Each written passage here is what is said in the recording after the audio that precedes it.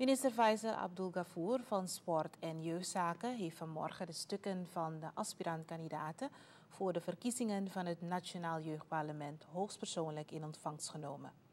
Dit gebeurde in aanwezigheid van districtscommissaris van Zuidwest, Mike Nerkus, als getuige.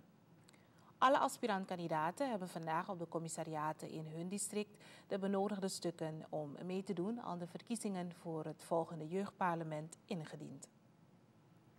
De aspirantkandidaten moesten tussen 8 uur morgens en uiterlijk 3 uur vanmiddag de stukken indienen. De verkiezingen zijn op 8 februari 2017. Geïnteresseerde jongeren konden zich tot vandaag opgeven als kandidaat. Om dit proces goed te laten verlopen zijn er een kies- en organisatiecommissie ingesteld. Volgens minister Abdul Ghafour is er een mijlpaal bereikt als hij kijkt naar het aantal jongeren dat hun bescheiden heeft opgehaald voor de kandidaatstelling. Vergeleken met het vorig jaar zijn er 116 meer jongeren geweest om de stukken op te halen, zegt de minister. En het bijzondere is dat er nooit eerder bij een verkiezing zoveel jongeren uh, formulieren hebben opgehaald. En ik vraag wel een, hart, een daarvoor een applaus.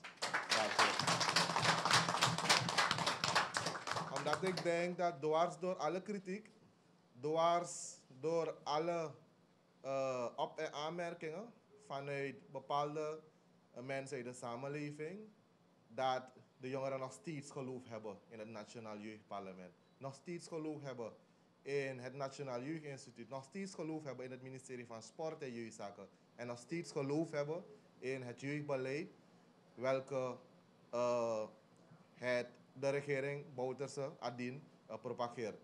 En ik hoop van harte dat de 269 jongeren die tot en met vrijdag hun lijsten hebben opgehaald, uh, dat allemaal vandaag uh, dat zullen indienen. Ik hoop dat ze goed hebben gelezen, dat ze alle bescheiden hebben meegenomen. En ik hoop van harte dat de DC's, de overige instanties, die conform uh, de staatsbesluiten deze zaken in, in, in, in ontvangst moeten nemen, dat zij goed opletten, goed lezen en de bescheiden goed nagaan. En ik hoop niet dat jongeren uh, valse ondersteuners hebben geplaatst op hun lijst. Aldus minister Faisal Abdul Ghafour van Sport en Jeugdzaken.